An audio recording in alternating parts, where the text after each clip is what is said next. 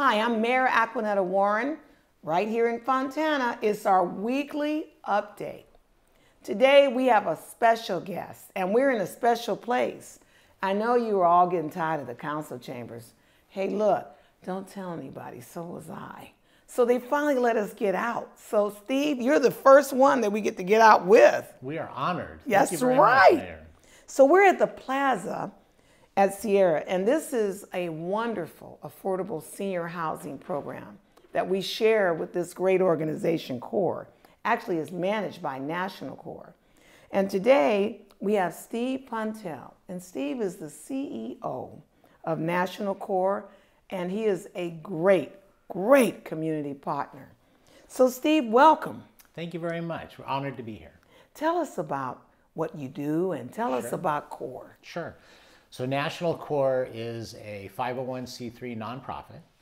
We're the largest affordable housing nonprofit developer in Southern California, one of the largest in the nation. We're headquartered in Rancho Cucamonga, so a couple of miles to the west. Uh, when we're fully integrated, so we're developers, we find land, put together deals. We're general contractors. We build most of our projects. We have 10 deals under construction this year throughout Southern California, about 1,000 units. Wow. Uh, we're also property managers. We have an amazing property management team that manages properties like this. And then through our Hope Through Housing Foundation, we deliver and partner in the delivery of a variety of services.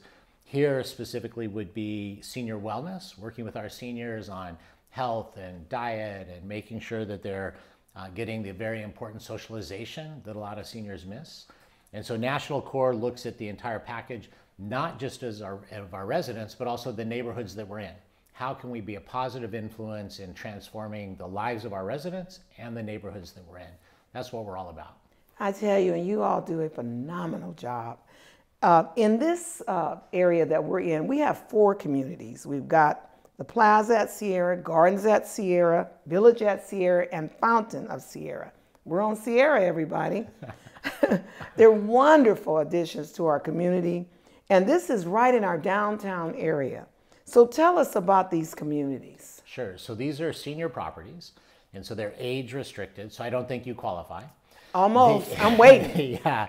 Uh, but, but what we're very proud of is so we have about 400 residents that are living within these communities. And it's not, it not only creates a high quality place to live with security and dependability, stability, um, but also they're amenity rich. So we have swimming pools and fitness centers and community centers. And one of the things that both the property management team and the Hope Through Housing team are very good at is various events and activities and programs that once again the, get the seniors out so they can mix. Um, and especially what's good is that this location is near downtown. So people can walk downtown, can walk to the senior center, can walk to a variety of community amenities within the neighborhood, you know, further enhancing this environment. And so once somebody gets into one of these properties, they're, they've, they, they're really in a stable position for as long as they can stay.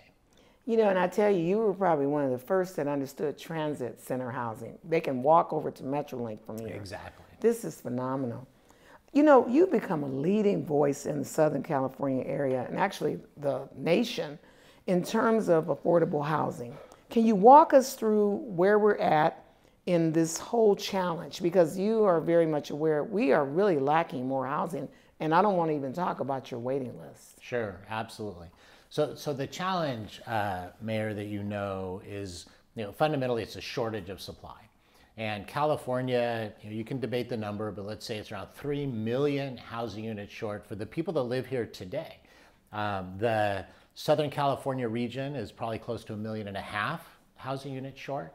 And so when you have that kind of shortage, supply and demand kicks in, and you naturally have an affordability challenge just because of supply and demand. And so in addition to that, within California, is you know the cost of building new construction is very high for a whole variety of reasons. Right. and so therefore the cost of housing continues to go up you know and we continue to get further behind on the supply. And so when you think about affordable housing you know that's one slice of housing. So the challenge we have is the entire market for housing is not working today.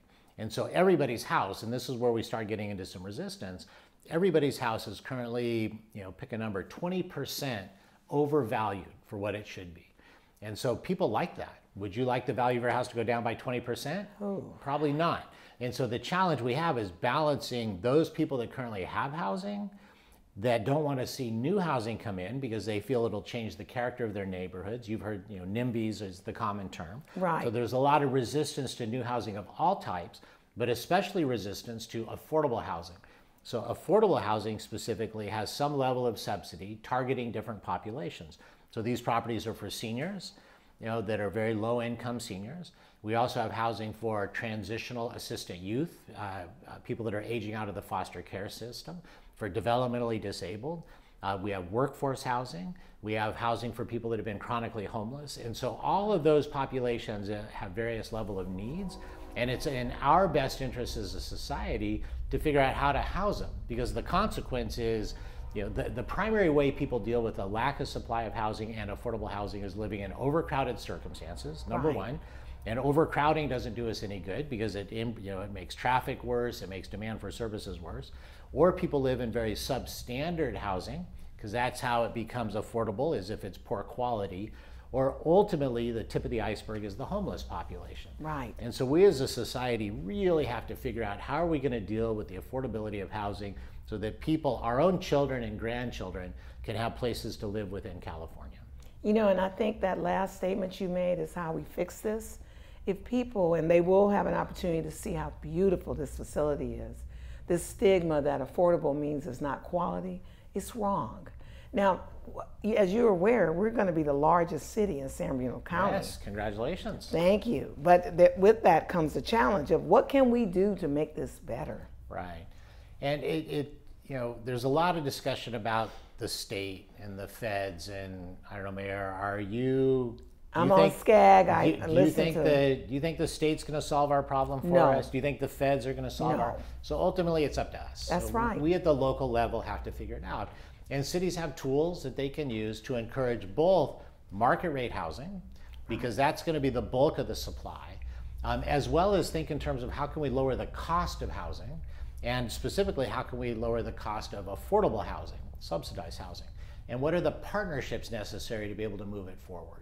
And so those are the kinds of things I think cities can do. Is there's all the traditional things that you know, mm-hmm. you know, going after funding, et cetera, but thinking in terms of partnerships with other local governmental agencies, you know, other you know, faith-based group, the health community, uh, business community that is affected by the lack of housing. You know, how can we create those kinds of partnerships? How can we lower the mitigation costs that are associated? Fees are one thing, but the bigger cost is actually the, the physical improvements for roads, water, sewer, um, storm water that need to be done on every project. How can we solve some of those problems? How can we speed up the process because time is money right. and uncertainty is money. And so, how, you know, there are things that cities can do. If a city wants something to happen, cities can be really creative in making things happen. And so we look forward to partnerships with cities like Fontana that really want to make things happen. And then let's figure out how to do it. And so that's the way I think we're going to move the ball forward. And that's what we've done for years, and we enjoy our partnership with CORE. We just had our State of the City, and for our homeless population, we have been able to identify the chronic, and we have ways of helping them, but we don't have housing. So in that State of the City, I announced that if you have an empty house or apartment, or if you would like to work with us, contact us. So we're going to be following up on those contacts. One of the things when you talked about how's it going to happen, Federal no, state no. Well, for those watching, I want you to tell them about the Regional Housing Needs mm-hmm. Assessment, the good, good old RHNA. Everybody's talking about it, and what is it really trying to accomplish? Sure. So does this air just before people go to bed? So do you want me to put people to sleep on the technical aspects of RHNA? So the state of California for years has come up with uh, formulas to determine what is the housing we need. So the RHNA, the Regional Housing Needs Assessment, determines what kind of housing we need. And for many of the RHNA cycles, as they call them, cities would have to show that they had land zoned for that could become housing. Well, the state has now changed things where cities are going to now have to show how the, what they're doing to actually promote the construction of the housing at various income levels. And so what the state does is allocates across, and so we're in the Southern California Association of Governments region, the SCAG region. And so out over the six counties in the SCAG region, it's about 1.3 million housing units that have been allocated out to all the cities and unincorporated areas. And so for a city that has a particular number, the city now has to figure out okay, what do we have to do to encourage the development of those units at various income levels? And so the challenge that we have, and this is something that we're spending a lot of time trying to think through, is there's about 500,000 subsidized units that are going to be necessary in the SCAG region. New construction costs, let's just say $400,000 a unit, probably a little more. That's a $200 billion need. So if we don't get creative about how, where the money is going to come from, you know, the state's talking about a billion here, a billion there, not going to get it done. And so we're working a lot on, we've got to come up with ways that private capital can be incented to help produce housing that people can afford. One of the primary ways we have to do is lower the cost per unit to make it work. And then the second thing is to be able to layer different uh, capital sources in a way that makes it work. And so we're working throughout Southern California, as are others, to try and come up with those kinds of solutions. Partnerships with cities is a critical part of getting RHNA met. And the consequence, if we do not meet RHNA, is the threat that the state has that they may come in and just start imposing more and more development. I think it's more than a cities. threat. Yeah, the, the state's serious about they it. They are very serious. Yeah. In the meetings that I've been in, I can tell that everybody's at their wits' end on this subject because it's something that is impact, impacting all of us. Family members, uh, friends don't have anywhere to stay. I mean, we've got to do something. And, and I don't even know, I grew up in California you got to ask yourself, how did we even get here? Yeah. But what I am encouraged by are people like yourself that are really trying to not only attack the housing part, but you've been very involved with trying to eliminate the digital divide mm. too. Can you tell us a little bit about that? Sure. And you know, Aquanetta, we've been doing this together for a lot of mm. years. Yes, we have. And I just want to say that you are also one of those people that never shies away from a difficult conversation. and so that voice is really important. So one, one of the things, as I said, we care not just about our residents, but the neighborhoods we're in, the communities that we're in. And the pandemic has, has really highlighted some of the disparities that exist within our communities. One of those was the digital divide, because all of a sudden telehealth went, you know, I was talking to the president of Kaiser for Southern California, their 10 year goals were met in 10 weeks of the pandemic as far as telehealth is concerned because everybody shift from an in-person visit to a telephonic right. tel- a video visit. The challenge we have is in FQHCs, federally qualified healthcare centers, half of the visits were video, the other half were telephonic. People didn't have vid- video devices, they didn't have smartphones, et cetera. And it just really amplified the digital divide. And then, with kids not being able to go to school, teleeducation became critical. And so those kids that did not have good internet connection have even been left further behind. Right. And so those kids, you know, the most disadvantaged, are now further disadvantaged as a, as a result. And then you can layer in telework and telehealth and telegovernment and telejustice and I mean everything else was shifted. And so we've been very focused on thinking about, okay, how can we be more resilient for the next pandemic? What do we need to do to really end this? As a matter of fact, I just had a call today uh, that Supervisor Hagman co-chaired with me with supervisors from all seven Southern California counties, a variety of health organizations, a variety of the, the uh, uh, you know, technology world, where the counties are coming together to collectively address the issue. Um, SCAG last week adopted unanimously a yes. resolution that mm-hmm. we helped craft on ending the digital divide. Six of the seven Southern California counties have adopted that resolution. They're beginning to ask cities to adopt the resolution. Right. Because a common commitment to say, and it really falls into three elements. Number one, we've got to get the technology into the neighborhoods. That's right. Number two, we have to make access to the technology affordable so that if the pipe's running through your neighborhood, you can afford to connect to it. And number three, people have to have devices that are functional. And so those three pieces are all being worked on as we move forward and really thinking about we've gotten to the point where the internet is man is a mandated need, a mandatory need for people. And so we we have to figure out how to make sure that it happens. One way or another, we have to make sure that it happens.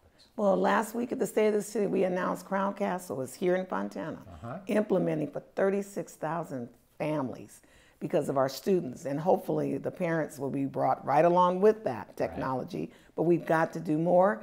Early on, we were uh, getting laptops donated, and then we were getting calls. We don't have internet. Right. But exactly. a lot of the providers stepped up and provided discounted But when you're talking the difference between food and internet, you got to pick the food. So right. we got some serious work to get done.